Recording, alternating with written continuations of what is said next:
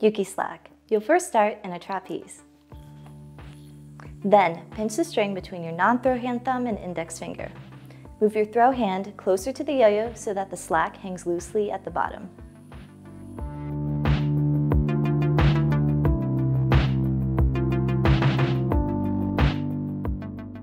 Swing the yo-yo inward and around your non-throw hand. Catch the slack and end up in a double or nothing.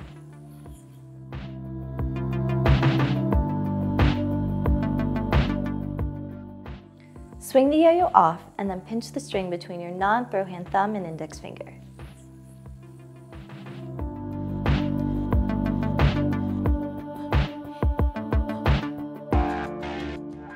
Hit the string from the bottom and drop the string from your index finger.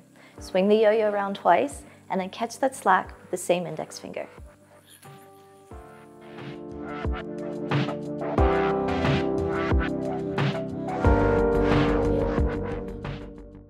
Pop the yo-yo into a trapeze and then swing inward around twice. Catch the slack and you'll end up in a double or nothing.